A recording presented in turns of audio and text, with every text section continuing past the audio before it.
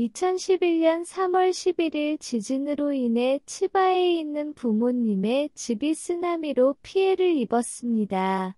집에는 어머니, 형 부부, 두 아이, 그리고 개가 한 마리 있었습니다. 그 사건은 너무나 갑작스럽고 예상치 못한 일이어서 그들은 개를 정원의 사슬로 묶인 채 탈출하려고 애썼습니다.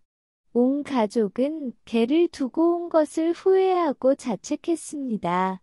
우리는 그것에 대해 비난받을 수 없고 선택의 여지가 없다는 사실로 스스로를 위로할 수 없었습니다.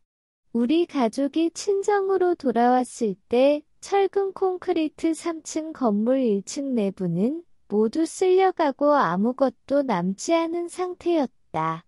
개와 쇠사슬, 울타리가 모두 씻겨 내려가자 모두가 울었습니다.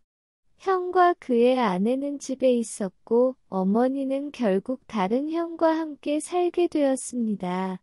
한 달쯤 지나서 형이 뭔가를 청소하고 있을 때 갑자기 형의 발 앞에 개가 나타났습니다.